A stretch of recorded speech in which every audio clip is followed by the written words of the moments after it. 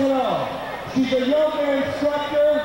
Ladies and gentlemen, the Island Girl, Samaya and Randy.